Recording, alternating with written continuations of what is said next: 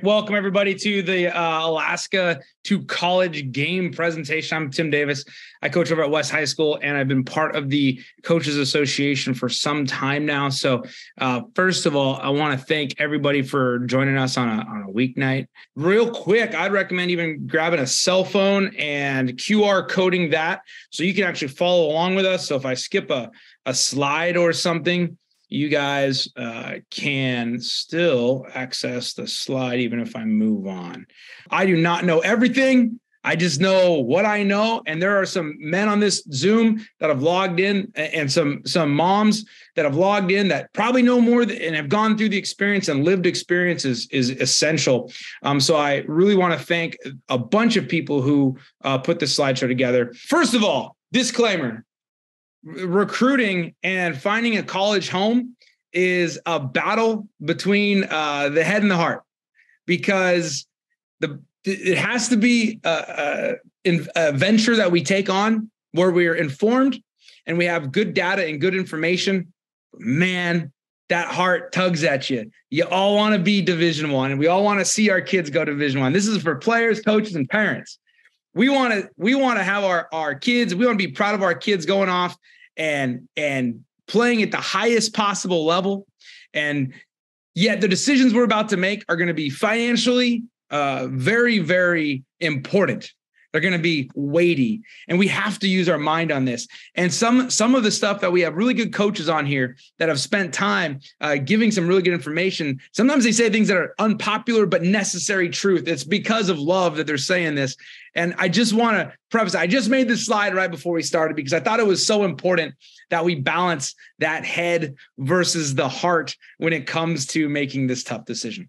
So real quick i want to introduce the people you're going to see throughout the night all all these coaches have played collegiate athletics, participated in them. They have been head coaches and they have seen their sons go through this process. So when you see these guys pop up on session tonight, know that they have a lot of information and a wealth uh, uh, of, of, really, really good stuff uh, to deliver to you guys. So first of all, we have Mike Collett at North Pole. We have Galen Brantley, uh, who has been wildly successful for years and years down in the peninsula and we have walter harmon a, a state championship coach uh, who won one with his son you know and that's that's a special thing um, for those guys to go through so uh, and all these guys have either landed their kids at schools or are currently going through that process right now so a big thanks to those guys and I know a few of them hopped on. Let's talk about what we're actually trying to get done tonight. Number one goal of tonight is successful recruitment. What is successful recruitment? Successful recruitment is where you find the right fit, where you complete a degree, and you influence the next 40 years of your life. And this is speaking to the athlete. That is what successful recruitment is. It isn't necessarily land the D1 offer. It's not necessarily go just the only place that you think is available. It is finding the fit, the degree, and the 40 year influence that you're going to have. Um, so let's talk about that really quick. Fit as you're evaluating colleges, things to think about geography. Could you live there? Um, could you live in the location of the school? Let's uh, the distance from home or loved ones, the isolation that it can be, especially for a college freshman, can be uh, can be difficult, and it's something to consider as you're evaluating if the school is the right fit for you. One thing we're going to go over a lot tonight: who is buying your food? Who is buying your lunch? That's going to be a, a very important question, as you can imagine. Uh, football is not going to be easy. No matter where you go, it's going to be a theme here. It's not easy. Does it's very important and it's super worth it and it's awesome, but it's not easy. So if you go to a place that's a that's not a right fit, when football gets hard, it's easy to walk away from that situation. Lastly, trust. And this is for all the people involved, parents, players, coaches. Do we trust the collegiate uh, coaches and staff? Have we built the relationship? Do they trust you? This trust is wildly important. So fit, that's the, the first part of successful recruitment. Second is your degree. The goal is to obtain a, uh, a college degree with the sport of football in tow. So the question is, what do they offer? What type of degree program does the school that you're looking for offer? Um, this is incredibly important because when the school wants you to come play for them, that's a business decision for that school. You you are an asset for that school. So the school needs to be an asset for you. And it's time to start thinking about what that program has that can help you in life. If there was no football, would you still go to school there and get a degree? It doesn't mean that you would. It doesn't mean like if football went away, you you you're at that school forever. But what it does mean or does ask is if there was no football, could you see yourself graduating from that school and getting a degree? And we've actually had that uh, in our program from our experience. So it's, it's a really interesting deal. Uh, we'll talk about that here in moments, but that degree is huge. Uh, lo- along with the degrees, how well does the college land their graduates? So this is something to, this is this is beyond just the sport of football now. We're now thinking about these life decisions. Uh, the mind has to enter into this. Um, does the school land graduates into professions? Or are you going to just be used for your time at the school and your university um, or do they develop you as a young man um, in the pro, in the sport of football? Uh, the next deal is the 40 year aspect. This is the big one. This one takes many high schoolers aren't here yet. Um, but if what I would encourage is if you're on this call now is the time to start thinking about your calling that is beyond um, the sport of football. What what drives you? What potential professions interest you? And this will all help lead to this. You're not making a four year decision. You're not making a one semester decision. You're making a decision that will influence the next 40 years of your life. And fundamentally, a degree is going to open doors. So a degree can be wildly important in today's today's world, today's market. Um, but fit degree 40 that's really the equation for a successful recruitment. So let's get into all that. So, how does a successful recruitment? I want to give some analogies here. As much information as we're going to give, I think there's some conceptual things that we all have to get on the table uh, to be successful in our recruitment. It's like building a table. The first part starts with the athlete. Athlete's got to own this. Um, the first leg of the table, if you will. The athlete has to own their process. They have to be um, committed to the books. They have to be committed um, to the Hudl film, to the Twitter, to the all the things we know about, right? That's an important aspect. The second is the parents. Parents have to be walking that journey with them. Um, we'll get into each person's role as we go through this. The high school staff, that's the coaches and that's the counseling staff. It usually also could be admin and teachers of the high school. And lastly, it's the college. If the college doesn't have an interest in you, it can make recruiting difficult right from the top. It can make it very, very hard. So you want to find places. This is kind of assuming the colleges have shown interest at this point. Uh, when it comes to interest, we'll get to that as well.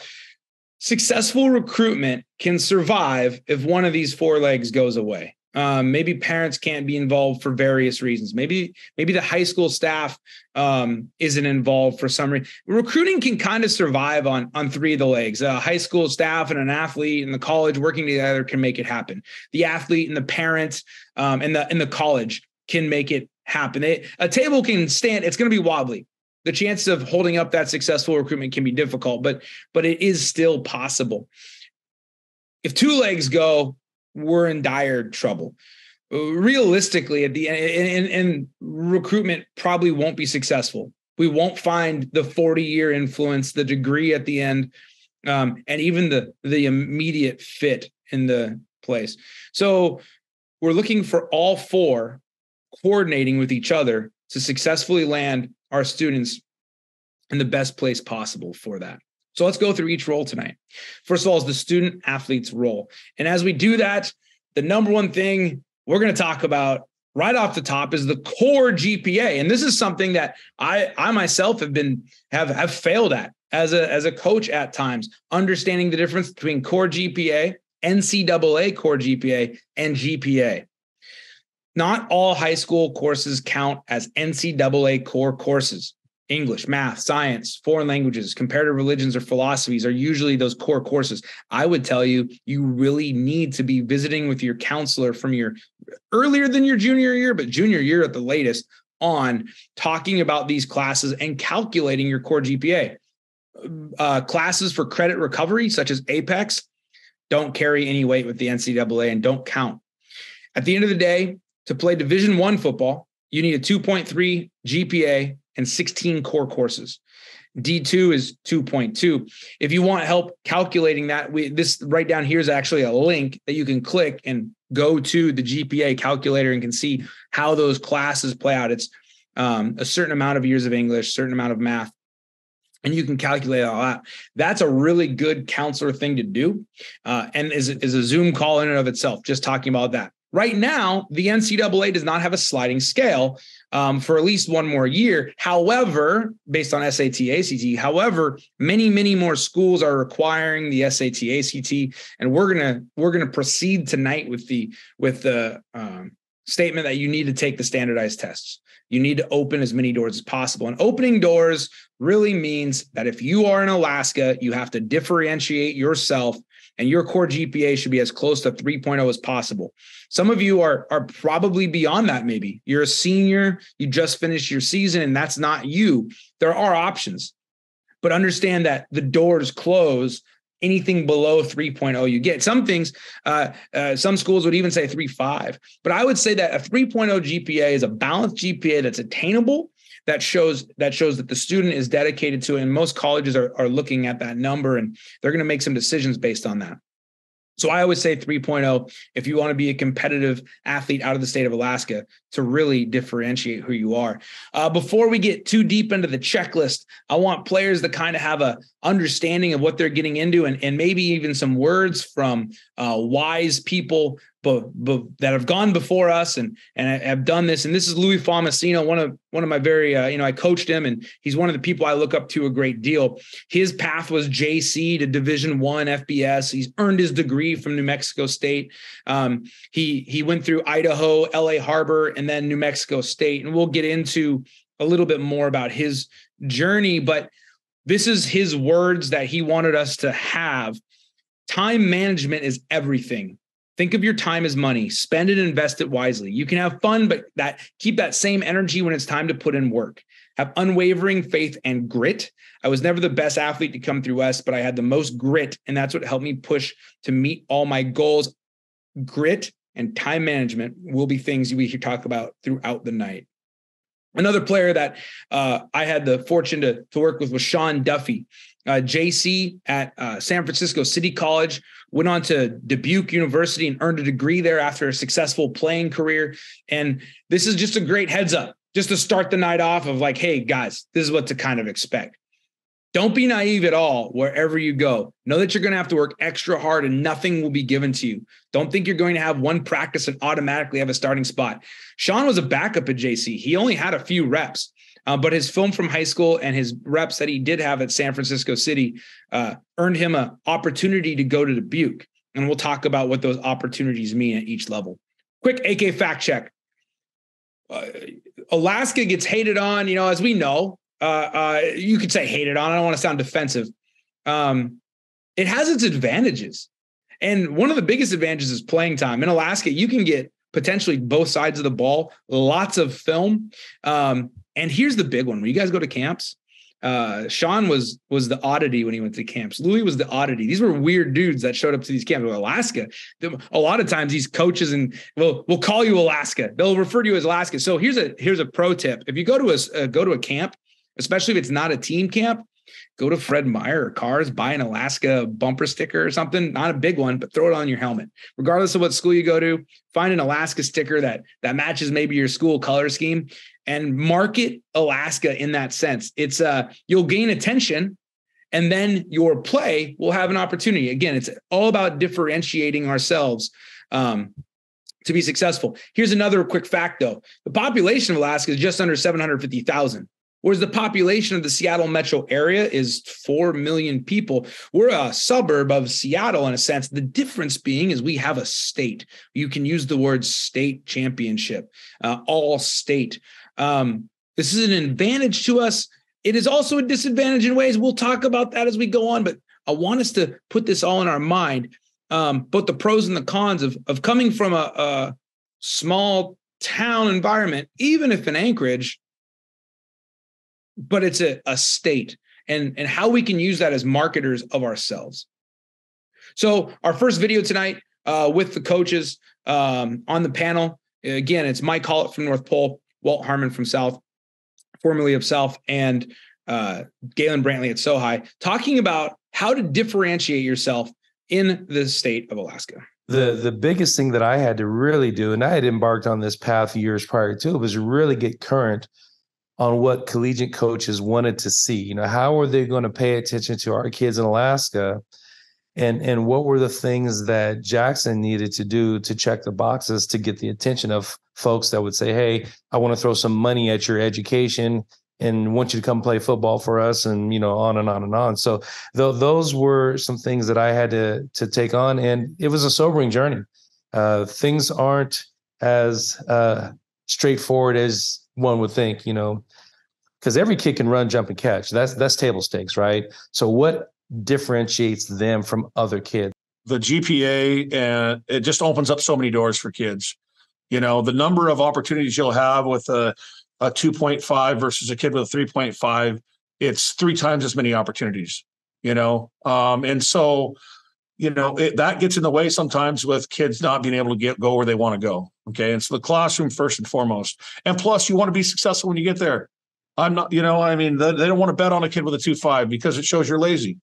You know they want to they want to bet on a kid that even if it takes him a little while he's going to be okay. Um, you know and you're, and you're you're there to get a degree. And so um, you know, I think that's that's the big one. He's got to take care of business in the classroom. Kids sometimes they all think they're D1 and don't realize that there's really really good ball at Division two, NAI, D3. Every kid at a at an upper level NAI program is all state somewhere. Every single kid was all state somewhere. And so I think you got to get past that right away and, and understand it's still really, really good football and a great experience. The best thing for kids, if your team's going to a camp, go with your team. So if your coach is planning on taking a trip to a camp somewhere, go with them, right? That means your coach has done the research. They know this is a good camp. You're going to get valuable information out of it. You're going to get valuable coaching out of it. If you're wanting to go on your own to a camp, um, make sure you do your research and talk to your coach. You know, like, what do you think? Because there's a lot of uh, what I'll what I'll I don't know like underwear camps or whatever out there. There's a lot of scams out there for kids. Um, they're just trying to make sixty bucks a pop and you know not really worried about evaluating talent or anything like that. Um, you know, big things for me. I want to be able to put pads on. I want to be there a couple days. Uh, I want to hit, you know, I want it to be like, I want it to be football, um, whether that's local or out of state, you know, finding a place that you want to go and trying to get in front of those coaches, I think is really important for our interior athletes. All right. So uh, let's dive into the checklist and then I'll take some time to take a look at, at, at questions we, we pop up in the chat after we get through the checklist. Um, one of the main things to do is really this call is designed for juniors starting at the end of their junior season. Um, and so as we do that, every junior, if you have not done so already, should be meeting with their counsel counselor like this week or maybe even earlier than that. But if you have not done so, and if you're not, if you're a senior and you haven't done it, do it now. Like do it now, meet with your counselor at school. Your counselor is really the almost like the uh, gatekeeper and the person who is able to uh, help you make sure that you have dotted all the I's and, and crossed the T's that are required. So make sure you do a core GPA check with them and a required class check. Next thing to check off on your list is meet with your head coach. Find out what your head coach um, thinks about your Hudl film. And head coaches, we have to, this is where the head and the heart, right? We want to tell every kid how great they are and how amazing they are. And it's true, our kids are great and amazing but how important is it to be honest with our kids? Uh, that that can be difficult. So so that is an important factor for both player and uh, coach to consider um, that head and the heart uh, side of the house. Um, PSATs, take those now as soon as possible. Take a PSAT in the fall and then take your SAT, ACT in the spring. Again, not required by the eligibility center, but it, because of the sliding scale is gone. Um, but it will be back. And many schools are still looking at SATs, ACT. So it while it's uh, it, last year was about 50% of the NCAA required SAT, ACT. Um, I would take them both, and I would take them as many times as it, takes to to get the score you want. Your eligibility center should be completed in the spring. We'll have a link to that coming up. That's the end, both NCAA and NAIA level we'll talk about tonight have those um, eligibility centers and then make a camp plan and let your head coach know what your camp plan is.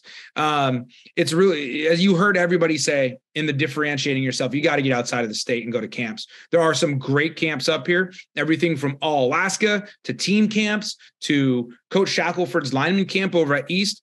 Um, all phenomenal camps with college eyes on you. Those are all things to get to.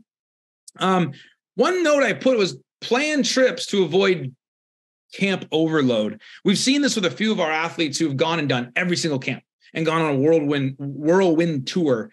It that can wear down on an athlete. So parents, this is a, a one of your roles. You know, really be closely monitoring your athletes if they are going on these camps all over the United States and making sure they're not running down. We almost every year we've had a kid go out and do, let's say if they do more than four camps, let's say they do more than four camps, especially in a month, they almost always get sick when they come back. And there's travel and there's stuff going on.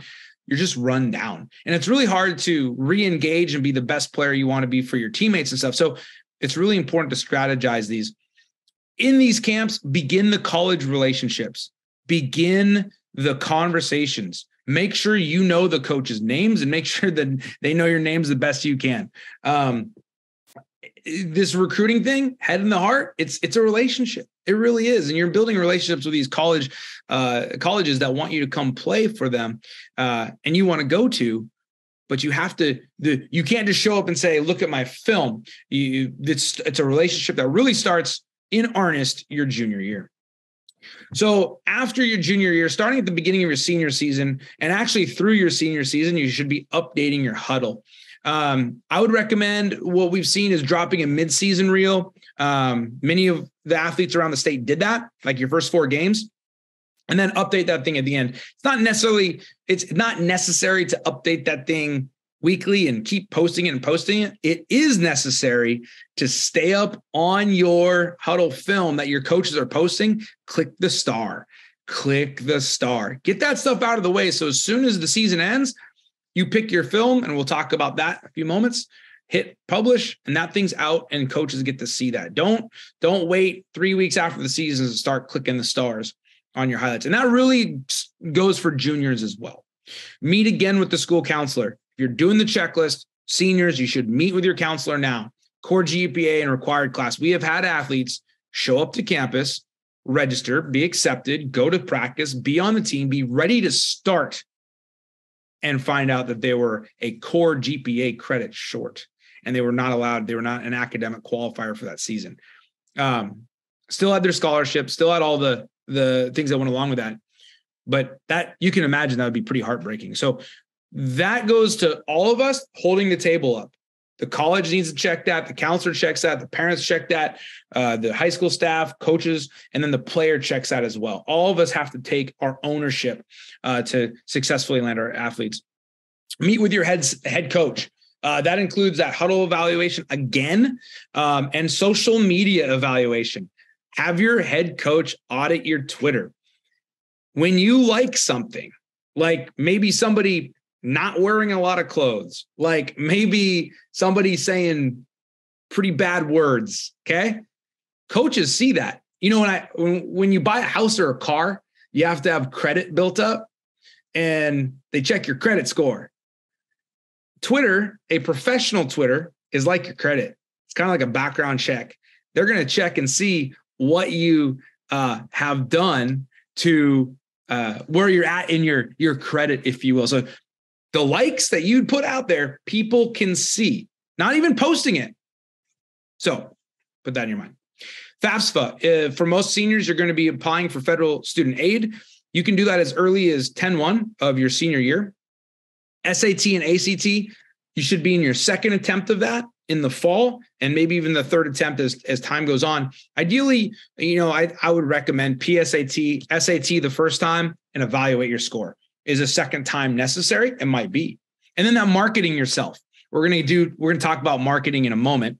Um, consistent communication should now be picking up. Your senior year, you should be texting, DMing, and emailing schools that you know and really want to go to, and then cast a wide net. We'll get into that some more as well. Um, and finally, the campus visit plan should begin. Um, you might have gone on an unofficial as a junior and done some other things plan those camp campus visits. Um, and and if possible get on campus. It goes back to the fit. How do you know you're going to like the place if you've never visited the environment? Oh, man what a crucial thing. You got to live there. You got to live there for anywhere from four to five to six years. Uh, so you want to see the place. Okay you've made your decision. You've checked all the boxes. You've gotten the offer. You've taken the offer. Now what? Continue to play sports. Go play soccer. Go run track. Go shoot hoops continue to play sports, continue to train, lift with your team, lift with your past teammates. You know, most coaches I know will allow that. Um, lift, lift, and train. On 4 1, once you've done everything, you will be requesting final approval of the NCAA. That's you and your counselor in that final week. And I would actually, this says final week. I would say everything beyond signing day, which is that first Wednesday in February, everything beyond signing day, you should be meeting with your counselor pretty often. These, uh, if you downloaded the, the deal, you have links right here to the eligibility centers. If you haven't downloaded this presentation, there'll be another link coming up at the end of it. Um, but if you click on these links, it'll take you right to those eligibility centers. Another AK fact check time. Again, camps are the single most important way to begin your recruitment. Um, uh, that's been by far, again, whether it's all Alaska, team camp, whatever, if when you're choosing this school to go to, when you're making this 40 year decision, it begins that sophomore, junior year of attending these camps and getting to know these coaches. Here's some thoughts on film and social media. Well, I think a, a couple things. One is when it comes to the film, uh, it's got to be front loaded. It's got you got to put the best stuff in the front, the stuff that's going to catch uh, coaches' eyes. Uh, whether it was my own son or any other player, I think that's that's first and foremost. Um, I think the other thing that we do too is is you know we don't sit around and wait for you know opportunities. We we we figure out who who our kids are interested you know where they can see themselves playing and then we send film directly to those people. We we make we reach out and make contact. I've got a couple of of uh, friends that are college coaches and they hate getting emails uh, from these recruiting companies. It inundates their emails. They're flooded. They want the kids to directly contact them or the high school coaches to directly contact them. And that's what really starts the conversation. So, you know, my counsel to all the kids right now polish up your Hudl film. You try to publish that anywhere and everywhere so people can see it. That's your casting a wide net approach. And then the parallel approach is the more laser focused I had a chance to, whether it's you know Randy Klingemeyer's All Alaska Camp, uh, and I met some coaches there, and I, I got all their cards, and I'm going to follow up with those guys, right? And I'm going to send this directly to them, or perhaps a good friend of mine or a good friend of my head coach is has followers on Twitter that are coaching outside and definitely looking at kids. So I'm going to refollow those guys and make sure I share my content with them as well. Your your first five plays are your best football plays that you have. As a kid, you really have to get good at manipulating your Hudl film because one coach is going to see you as an offensive player, another coach is going to see you as a defensive player. And the faster you can recreate that film to highlight the things that they either have questions about or they think they see you as or that they want to see more of, the better you will become. Uh, the question that they had about Jackson was like, hey, you know, it, eh, we like tough guys, right? I mean, we're Montana, we have Cowboys. I don't know. Are you tough? And you know, I'm not seeing it in your film. I see a good athlete. I see a guy who played quarterback. I see a guy who played a little bit of safety. But are you tough? And literally before they hung up off the, off that call, Jackson had recreated a film for Coach Robertson that highlighted all of his aggressive plays, all of his tough guy plays, all this stuff. And so that was one of the things that Coach was really imp- uh, impressed about, and he was able to take that to Coach Choate and others. Clean up your Twitter. Um, make sure that your film's good to go. Right, you got it. You got it set up. There's no slow motion in there. Anything. Um, uh, make sure you've got um, you know, a good email address, a good phone number for them. Your your DMs are open on Twitter. Um, you're looking at those colleges that you're considering. We have some slides that go along with the thoughts on film. This one's been floating around Twitter. I've saved it and I try to send this off to athletes whenever possible. This is an awesome, awesome template to use when setting up your Twitter. I would recommend a Twitter if you if you really uh, have the need for a Twitter that's going to be wildly different than your professional Twitter, I'd have a professional Twitter. So let's start with how that happens. First of all, use your real name. Get a profile pic in your uniform. Um, have you know maybe it could be this the photo day picture as well, but in your uniform. Make sure you're able to receive direct messages. Have that turned on. That you know, hey, this presentation's for 2022 maybe in 2024 twitter is not the main medium but i would say twitter is probably one of the main if not the main medium that college coaches are uh, taking a look at and, and, communicating with athletes. Have a professional handle okay? Not well you you can imagine unprofessional handles but have a professional handle with your name on it. Have the link to your Hudl film. We're going to talk about Hudl. We're going to talk about the wide net Hudl and that's what you want. The big the, the top 10 plays that is the Hudl that you would put in your profile. Uh, have your current town as your location. Don't put a silly location like Antarctica or something like that. Um, and then bio should have your high school, spell it all out, midfield, West Anchorage, South Anchorage, whatever it happens to be. Your GPA, okay, it should have your SAT as well. Um, but highlight those good things. Put your class, your position, other sports you play, height, weight. I, it says limit the use of emojis in bio. I mean, I'd almost not use emojis in bio for this one. I would say, but have a little personality probably is not the worst thing as long as it's professional and works. And then if you have any type of rankings or stars or those type of things, uh, you could include that um, when you like something, you're telling the world that you endorse that, which colleges and coaches can see. Be careful what you like. It's in a red box. This is a brilliant little slide. Parents have this on lock. Uh, students have this. Coaches have this. Be ready to send this out. Um, and again, this whole slideshow you guys can download and see. This is an actual DM. I'm not going to read the whole thing, but this is a DM from a athlete. This was going around on Twitter, uh, and and I'm assuming it's real. It looked real, but if it's not, it's certainly awesome. Uh, in this instance, a, a player, a, a, prospect, DMs a collegiate coach and says, Sup, coach. And then the, the coach follows with, uh, Hey, because you're young, I'm going to show you how you do this, man. And he gives him a, a template. Hello, coach. My name is blank. I play the position here, graduation year, school name, city. I don't know if you should copy and paste this necessarily because this is now a very famous tweet that's gone out there, and a lot of athletes probably are. But the basic idea is here name, position, grad year, school name, city. Make sure everything is spelled correctly, everything is accurate. Height, weight is not the extra inch that you have in the, the team program and not the extra five pounds, it is what you weigh and are measured at right now tonight. Um, have your coach's name and contact, have your contact, and have your link to your most up to date Hudl film. And again, these Hudl films are going to be somewhat living documents. Let's get into them now. So on huddle, you should have a title slide, and that title slide should have your name, position, number, the vitals, your height, weight, and then major awards. Not a lot of information. I would even say because Twitter is probably the medium in which you're sharing the Hudl film, you can have less in the way of contact stuff, but it's still good to put like a number on there if possible, a phone number. Your first film should cast a wide net. This is you just finished your season. All of us out here should have a top 10 football plays. Here's a secret that most college coaches tell us every year. They watch the first 3 to 5 plays. They might get to play 10. They're definitely not watching after a minute to a minute and a half. They're going to have hundreds, thousands of uh, these to go through. And so your first play, first three plays, first five plays are your best football plays. Offense, defense, special teams doesn't matter. If you look like a dude, that's the plays to put in. Now, two way players should think about making additional and expanded one sided films, especially if you're going to market yourself more as a linebacker. Yet you've played some wide receiver.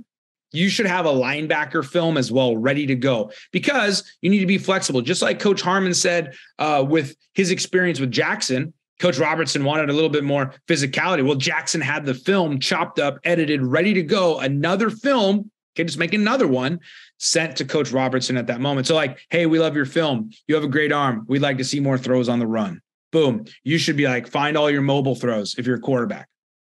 Things to avoid. Avoid the long animations, avoid the circles, lightning bolts, and arrows. You need those to identify where you're at. A lot of times, especially if you're a lineman or a box player, you're going to find that you're going to be near a bunch of chaos. You might need one of those identifiers, but avoid the long animations of those as quick as possible. Circle up, circle gone. Music with words. Should you edit outside of Hudl and use your own words? Do not put music with words. It can most college coaches turn the music off. And the ones that do listen to music are listening to see what the music you put on. And if you have a bunch of stuff that's like that's some profanity, has some stuff that doesn't want would their university establishment would not want represented, that only turns them off. No slow motion at all. They want to see your most important asset in the game of football, and that's explosion. So have the explosion. No cheap plays, blindside blocks, penalties, or doing the same thing over and over again. Okay. There are sometimes it's good to show some stuff over and over, a few repetitions, but especially, um, yeah, it's, it, it really got to be careful with repetition. You only have five clips I would say, before the colleges are turned off. Things to include show the full variety of your skills. If you're an O lineman, you should show uh, outside zone blocking if possible. You should show inside zone. You should show pass pro, screen game. Um, if you're a linebacker, you should show, show a block to feed in the box, uh, sideline to sideline ability, pass drop. Show the, the variety in those top 10 show the draw dropping clips first, the ones that are like, this guy's a can't miss. Make yourself a can't miss. Quick edits. Do not have the huddle. Don't have the break of the huddle. Have the shot, circle who you are, get to the action, quickly get off the action. Like you want to go rapid pace. Do not have coaches sitting around. Most recruiters will not watch beyond clip 10. Final thoughts keep it short and diverse. You're, really pushing the attention level after 10 clips. I would even say this is why I would argue you put your 10 best clips, send a wide net, and listen for feedback. Um, and I put that right there. Ask for feedback. Send your film to opposing coaches. Send your film to anybody who can watch it and give you any type of feedback. Obviously, this should start with your position coach, then your head coach or coordinator, and move on from there. And then one thing I, I, I don't think it's brought up enough: show your top ten wow plays that show you winning. If a DB falls down and you catch a fade route, it's not a highlight for you, probably. If a uh, if you're dominating the JV call up over and over in one film, it's probably not a highlight. Maybe it's all you have and then you have to use it, but you want to show maybe where the play broke down. I've had college coaches tell us, uh, we want to see this kid what he does when the play doesn't work. They're they're more interested in that, to be honest. Ah, the controversy, recruiting services. All right, let's talk about recruiting services. Let's get on the table. Paying recruiting services can be wasteful. I know somebody out there already paid the 700 for NCSA, maybe the 2000. I got you. I understand. It, it here's the deal. The NCSA website is awesome. I love it. Okay, I'm gonna be straight honest. Like this is it's a great website for resources, NCSA. But in the 14 years at West, and this is just my personal experience, and I'm sure there are coaches out there that have different experiences zero athletes were successfully placed by NCSA. They were they were placed because of relationships started by the athlete and and relationships that were uh, deepened by the athlete and then helped out by the coaches and the parents and the staff and the accounts uh, not NCSA okay? You will get on a list. They, they will make a list. No parent out there should have to pay to get their son recruited beyond that of travel to camps. $700 for NCSA or whatever it might be would be much better spent planning out a trip the senior or the the going into the senior year even the junior year just going to camps it'd be much more beneficial so when people come to me about ncsA um, uh, it, it's it's a sensitive thing because our we love our children. We want to do everything we can, and some recruiting services use the heart. They use the heart, and they they say now it's not all bad. And if you still feel lost after tonight, and if after you you still feel lost after you talk to your head coach, or you call uh, call myself or Coach Harmon or, or Coach Brantley or Coach Hollett or anybody, any coach, if you still feel lost, a recruiting service can offer you some more guidance. You shouldn't have to pay for this information and this work. Uh, it, it, they really aren't. It's not like you pay and you get offers. Uh, just be really clear up front. That's not what happens. So let's talk about levels of play and what an offer actually is. At Division One FBS, there are 85 full scholarships. That means you're in. You, you yeah, That's a that's a big time deal. This is the million dollar NIL deals. This is the play on on Saturdays. This is ESPN. Division One FCS is just one tiny step below that. And in fact, the top FCS schools are not only just competitive against the bottom FBS, they can straight beat half of the FBS teams. Those North Dakota teams, those South Dakota State teams, they are very, very good football and routinely beat James Madison. Those are really, really good football teams. Very similar in scholarship structure and in uh, importance for the communities. They they make some money, and so they're going to be very, very selective on who they talk to. Division two, a level that is often attained by Alaskan athletes, offer 36 full scholarships, although they very rarely actually give a full scholarship. Most of the time, Division two is going to be divided amongst those 36 full. The Division one FBS and FCS cannot split their offers. If you get offered at an FBS or an FCS school, you're getting your school paid for. If you're getting offered a division two, you need to now use the head, not necessarily the heart, and look at the offer sheet. What are they offering? Division three doesn't have athletic scholarships. It's based on academics and needs based. Um, however, they will help out athletes with this. I know of athletes who have gone to Division three schools and received academic scholarships that um, very clearly were, were getting academic scholarships and being considered because they were good at football. There you go. I said it. Uh, and then NAIA, very similar uh, to the NCAA, but a different organization and a different whole structure. It's more school based. It's what you did academically. Um, it's going to be they have these 24 full that they can divide, but you also have needs based, you have academic. So they're kind of on their own thing. The NAIA can kind of do what they want. If they want you, they're going to find a way to get a chunk of your pay, uh, your college paid for. I see NAIA very similar to Division two. They're very connected in my head as far as scholarship structuring goes. JUCO, mostly pay to play. And a lot of us have the D1 or bust dream. Um, and let's get into that. Recruiting fact check. Consistent direct personal messages and texts and phone calls indicate recruitment. Mailers and generic camp invites don't. So let's think about this. I need a phone call from a coach or a text or a DM to know I'm being recruited. Here's the timeline really it's your junior year or earlier if you're D1 FBS. If you've not been talked to yet by an FBS school, more than likely they're not recruiting you. Um, this is important information. It gives an indication. This does not mean to not send out DMs and texts to any D1 contacts you have. You absolutely should. Um, they might even give you fantastic feedback about where you stack up, whether you're one of theirs or they'll give you some guidance on who to uh, pursue for the level of play you believe you're at. FCS, they're going to be they're going to know who you are your junior year. These are going to be very very similar again in nature, be it FBS and FCS, um, as far as the schools go there. D2 will start really into the, the, the junior year. You'll see them at camps. Um, but many of our D2 scholarship athletes that we've sent out to a from Alaska, um, I can think of actually right now, Western New Mexico. Uh, Western New Mexico has at least four Alaskans in program right now. And all four of those Alaskans, to my knowledge, did not have a relationship with Western New Mexico prior to their senior year. Eastern um, New Mexico has a few Alaska athletes on it, and the same exact thing. Minimal amount of so if you don't have an offer on the table right now and you believe yourself to be a, a collegiate athlete, the D2s and and the NAIs and these guys, you're not too late on these. FBS and FCS, if you have not been in contact with them, they're not recruiting you. Just as what it is. You're you're probably not sending Hudl film out because they have to think FCS and FBS have to think regionally.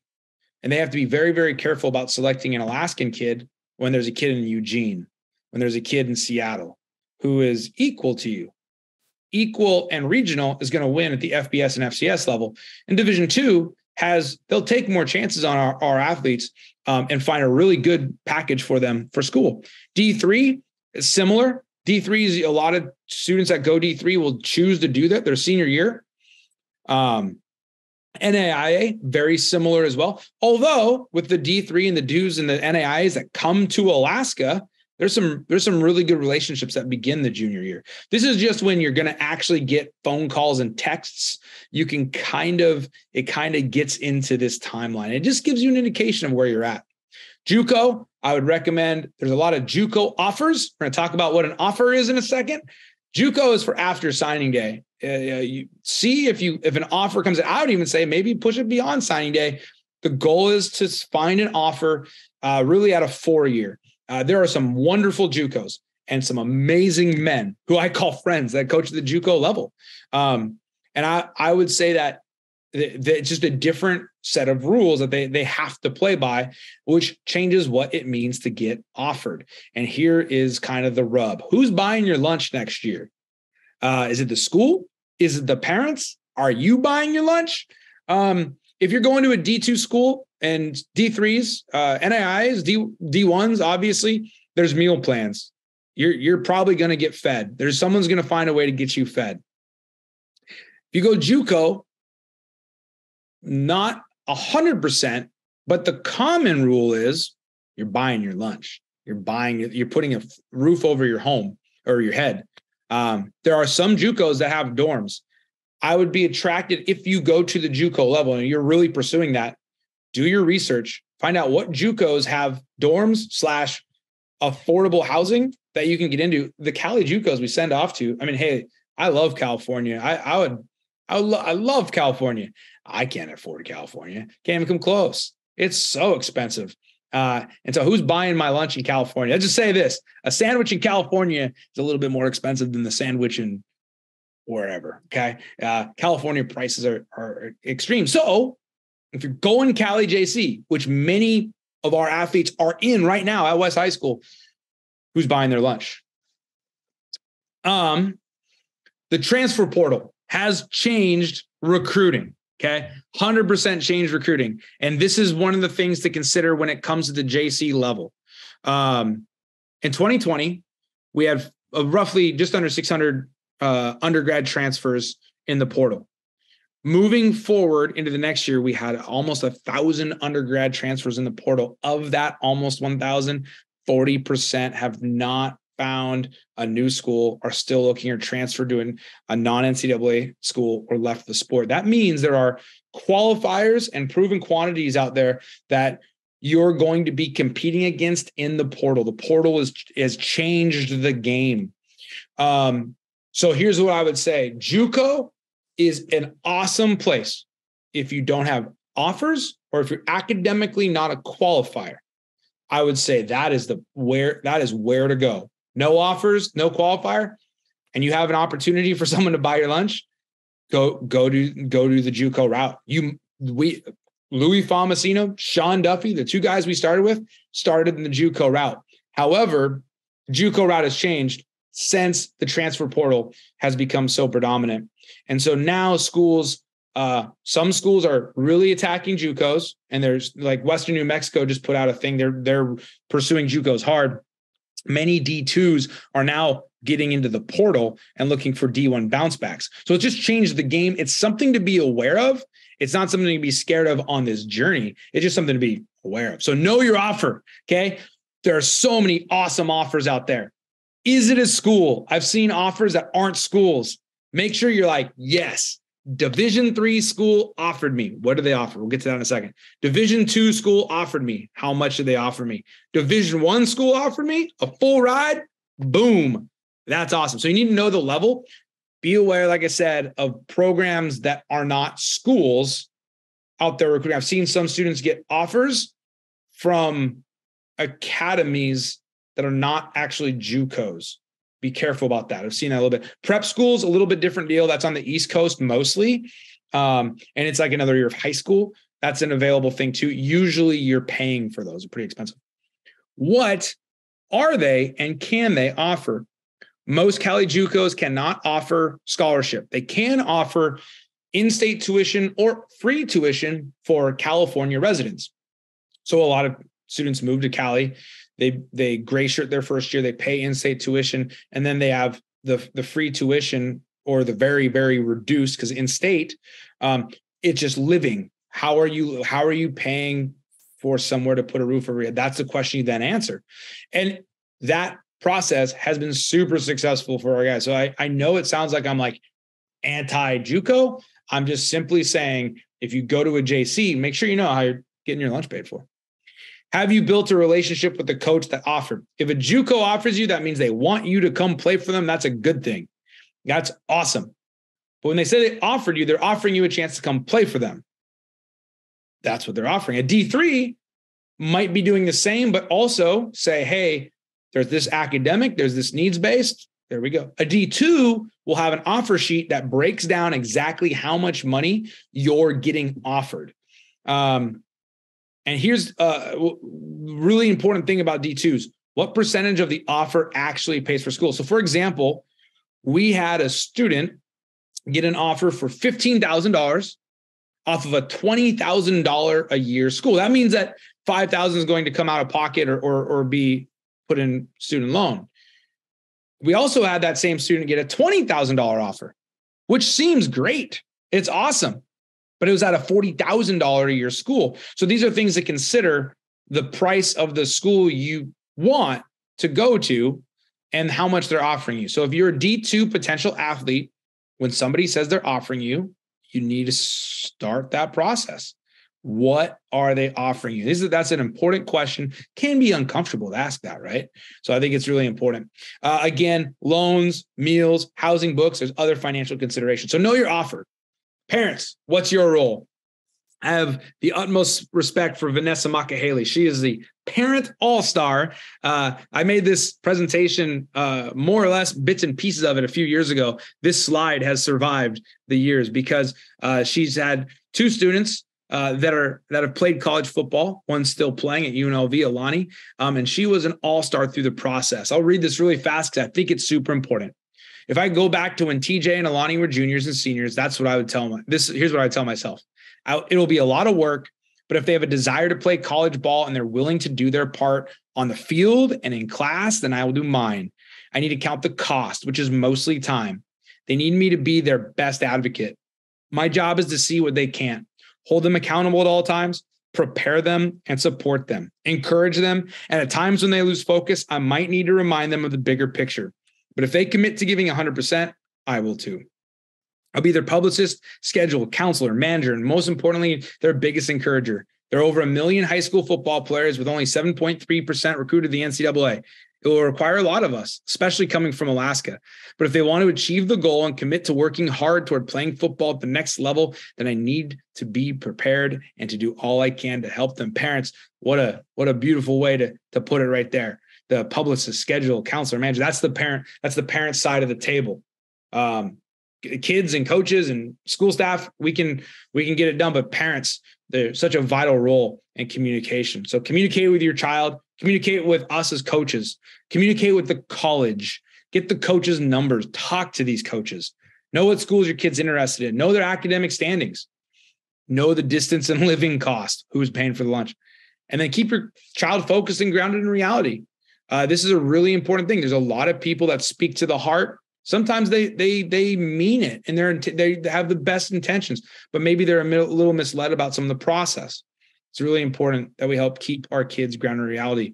What's affordable? Uh, parents help with the FAFSA, get those filled out. That's an important parent role. Uh, in, if possible, get your kids to the schools, visit the schools with them if possible. Ensure your child is signed up for SAT, ACT, openly communicate, express any issues or concern.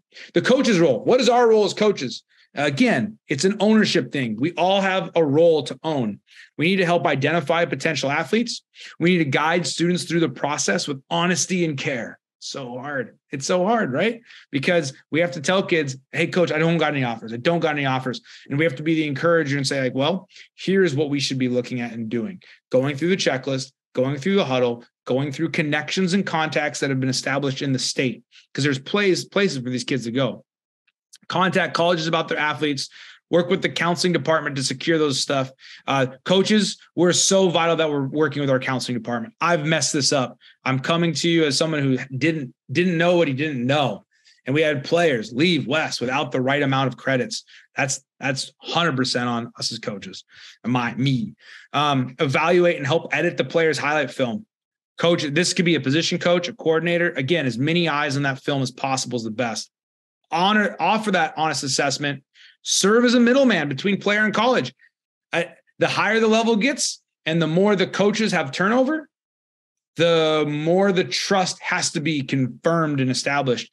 You know, there's a lot of coaches that recruit Alaska, and those coaches have been in their schools for 20, 20 years coaching at their schools. That's awesome. You have a pretty good idea that that guy's or his staff is going to be around that that building for a while. Um, protect players from predatory recruiting. What does that mean? If I'm throwing it, you're offered. Hey, you're offered.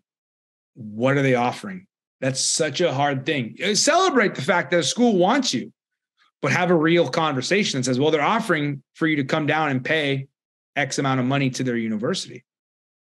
Um, log college contact, be writing, ask your players to check in. Not like, not like wildly, but like you should have a good idea if, if a school's been talking to the kids or not, rather than just a vague notion. Here's the last, uh, we're coming down to the last few minutes of the presentation. The here's the big question is do you want it? And we've thrown out some challenges and we've thrown out some some hard data.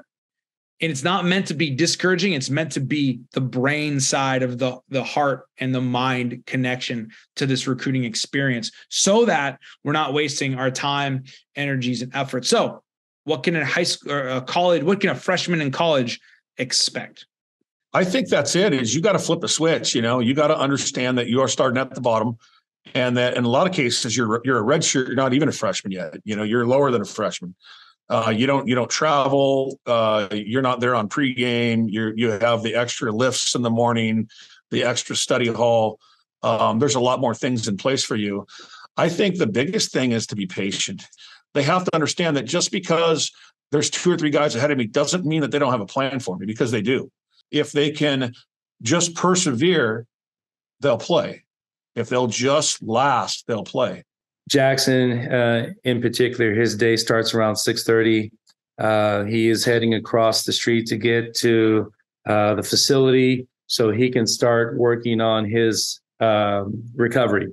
So, uh, you know, as a guy who's been kind of nicked up uh, so far throughout his career, he has to start with his uh, treatment. And then, usually for him, I think his in class ahead of field work.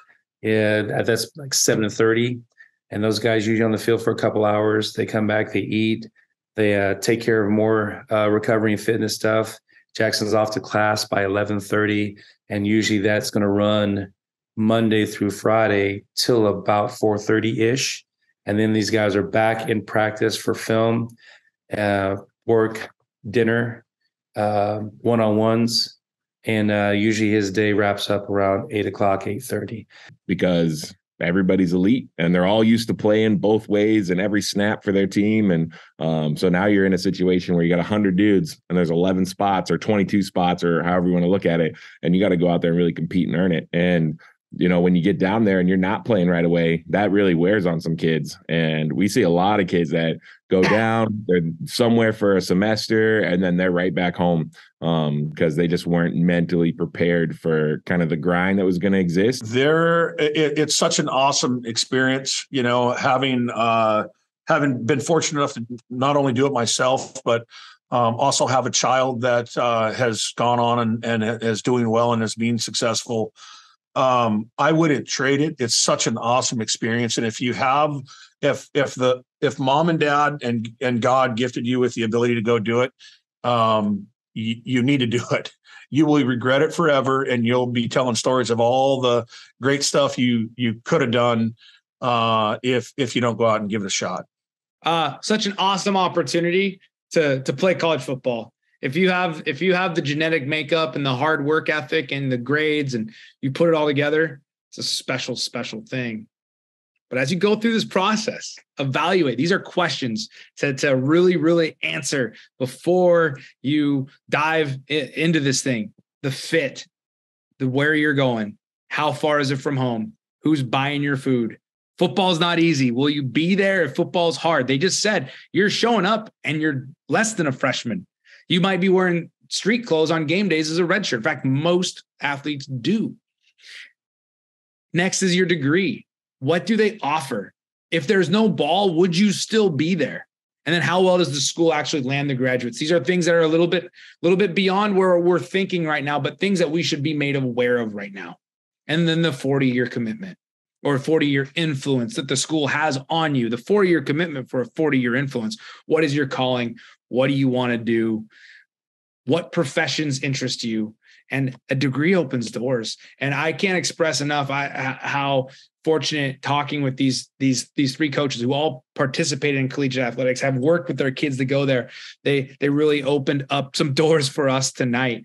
Um, they each gave 20 minutes of their time actually more um, 20 minutes of their time for the full interview please please go to youtube uh, there's a link to it here this sheet again at the end of this presentation there'll be another link to this sheet you guys can get um, go watch these interviews they're highly informative and they're authentic and real. No one's getting paid for this.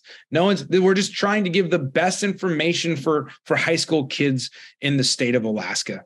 Um, and then this is the link to the actual slideshow. You can also we will be posting the coaches association will be posting this uh, this sheet um, a short one page from Coach Harmon he, that he typed up. Like it'll be like a, it's a really really great document that will be hosted um, on the akfootballcoaches.org website.